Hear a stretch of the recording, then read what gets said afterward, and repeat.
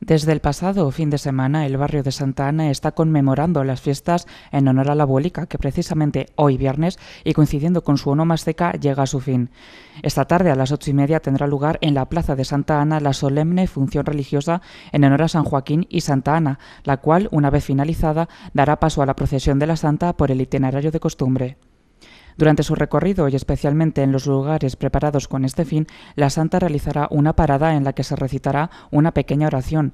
La Asociación Músico Juvenil será la encargada de acompañar a la imagen de la abuelica durante su trayecto y al término del mismo la hermandad procederá al tradicional sorteo de la rifa.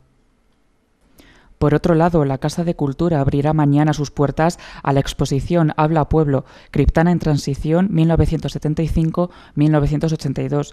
Coincidiendo con el 40 aniversario de los ayuntamientos democráticos, alumnos y profesores del taller de Historia Local de la Universidad Popular se han volcado en una muestra que presenta una gran cosecha de documentación, sobre todo de trabajo oral, ya que en un futuro tienen entre sus planes la creación de un archivo de estas características que recoja las últimas décadas de nuestro pueblo. La inauguración será a partir de las ocho y media de la tarde. También mañana, pero en este caso a las 11 de la noche, el Auditorio de Verano acogerá el acto de proclamación de las Damas de Honor de la Feria y Fiestas 2019. Recordemos que a las jóvenes Esther Rodríguez, Victoria Alberca, María Ángeles Sánchez, Laura París, Patricia Martínez y Laura Ballesteros les acompañará el pregonero de las fiestas, Manuel Pintado, y entre todos compondrán un espectáculo donde la música también tendrá su lugar. Una noche llena de sorpresas y emoción con la que se dará el pistoletazo a las que serán las próximas fiestas de Campo de Criptana.